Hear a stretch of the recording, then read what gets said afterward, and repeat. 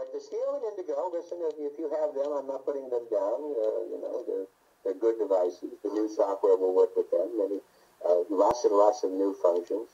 Everything will work a lot better. Uh, if you have Windows 10, you're going to want to get the new software. Uh, the, the old software works, but Windows 10 has a couple of hang-ups that we have cured in the new software. So if you want to get that, uh, you know, fine. If you want any any more information on that, let me know. But Windows 10 will be the future. Desi, a little question here says the new version of the software does not deactivate? Question mark. Not requiring renewing? Question mark. Uh, we it, our software is, is only we, we require we mandate. Let's use the word mandate. We mandate renewal only if the governments tell us to. Mm-hmm. If the government tells us we must uh, we, we must mandate a change, then we must insist that everybody get.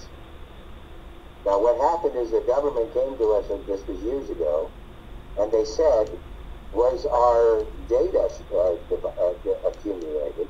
Was the data that we had protected? Was it encoded? Hmm. And we said no. We, we protect the data, but what would happen, and we're talking a couple years ago, this was 2012. It's almost 2016 now, okay, so years ago. And people are still talking about this. Jesus. In 2011, our software was not encoded.